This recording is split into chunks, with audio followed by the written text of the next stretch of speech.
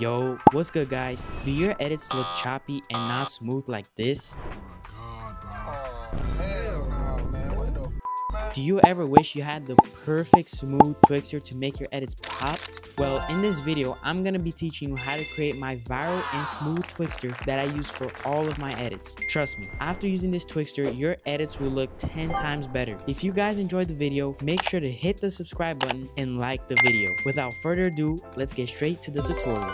Alright, first things first, what you guys want to do is have all your clips aligned with your song in the correct I won't be using any songs because of copyright issues, but you guys will still understand the tutorial either way. Then what you guys want to do is pre-compose all of your clips and I will do that right now. After you pre-compose all of your clips, what you guys want to do is go right here to the right where it says effects and presets. You want to click it and it might load a little bit. It might take a little bit to load. And then what you guys want to do is type Twixtor. Then you'll see three options. You want to go ahead and just use the first one that just says Twixtor. And then click on the, the Twixtor and drag it to your first clip. And after you drag it on the left, it will show a bunch of like settings and you want to make sure that the in fps is out fps you want to you can unclick it and make sure it's 29.970 this is very important. After you do that you want to make sure motion vectors is as best. You want to make sure image prep is as contrast edge enhance you want to make sure that the time remap mode is speed but it probably is. And frame interp it's motion weighted blend. Then after you guys do that is you want to go ahead and you see where it says speed, you want to go ahead and click the little stopwatch next to it. After you click the little stopwatch, you want to click U to see the keyframes. After you see the keyframes, then you want to go right, go ahead and type in 200 at the very start of the clip. Then go forward some frames it doesn't it's not really specific but it's